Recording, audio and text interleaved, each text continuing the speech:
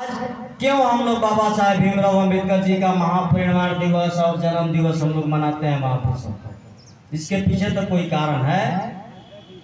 बहुत लोग जन्म लेते हैं, बहुत लोग चले जाते हैं, लेकिन आज 1956 में चले गए।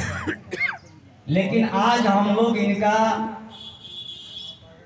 जन्मदिन और पुण्यतिथि दोनों मनाते हैं।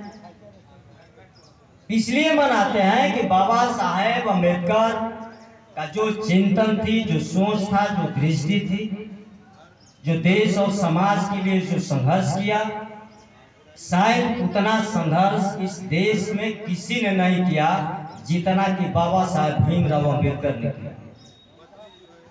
और किनके लिए किया। इस देश की जनता के लिए किया, अपने लिए नहीं किया। उस जमाने में बाबा भीमराव अंबेडकर जितनी यातनाएँ झेली, जितना अपमानित किया गया, जितना प्रताड़ित किया गया, उस परिस्थिति में भी बाबा साहब भीमराव अंबेडकर दुनिया के सबसे अच्छे विद्वानों में से अपना एक जगह बनाया। वो परिस्थिति थी उस समय का।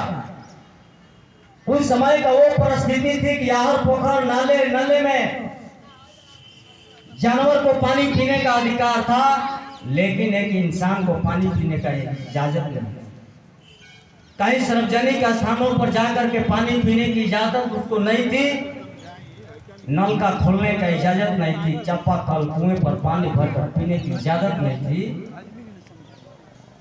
उस जमाने में उनसे कोई छुआता नहीं था, कोसों दूर रहता था। हमारे उमेश भाई ने कहा कि बैलगाड़ी वाले लोग भी उनको बैठाकर दूसरे जगह नहीं ले जाते थे कि मैं छुआ जाऊँगा तो नीचे आपको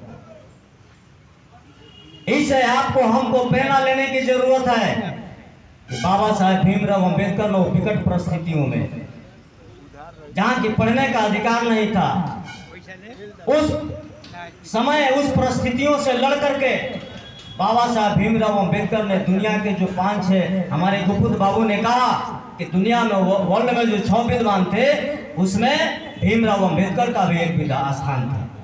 भारत का सबसे बड़ा विद्वान और भारत का आज तक जितनी डिग्रियाँ लोगों ने लिया है, मैं समझता हूँ विशाल जी महेंद्र बाबू अंबेडकर जी जैसा डिग्री किसी के पास नहीं है। नहीं है। और वो डिग्री धारी ही नहीं, वो मेरिट धारी थे।